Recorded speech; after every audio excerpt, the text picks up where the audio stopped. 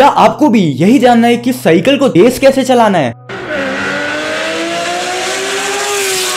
तो सबसे पहले तो भाई आपको पेडल ही ज़्यादा करने पड़ेंगे। आपको भाई एरोडायनेमिक्स में ध्यान लगाना पड़ेगा। आपको अपनी साइकिल में भाई झुकना पड़ेगा। आपको साइकिल इस तरीके से चलानी है कि जो एयर ड्रैग है ना, वो कम से कम आपके ऊपर लगे। अब साइकिल ना भाई इस तरीके की क्लोथिंग में चलाने, मत चले जाना। आपको साइकिल की प्रॉपर जर्सी पहन के साइकिल चलानी चाहिए, जो की टाइट एयरोफिट जर्सी हो। एंड भाई जो साइकिल का टायर होता है ना, इसका जो एयर प्रेशर होता है ना, ये मेंटेन करना बहुत बहुत इंपॉर्टेंट है। एंड साइकिलिंग के बारे में सब कुछ जानने के लिए मेरे चैनल को सब्सक्राइब कर देना।